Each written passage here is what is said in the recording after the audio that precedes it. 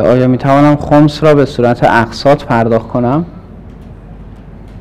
به هر حال در جریان خمس باید از مرجع یا نهایت وکیل مرجع اجازه داشت حکم کلی اینه که اگر کسی توانایی یک جا دادن ندارد با هماهنگی با مرجع یا وکیل مرجع میشه اون رو به صورت قسطی پرداخت کنه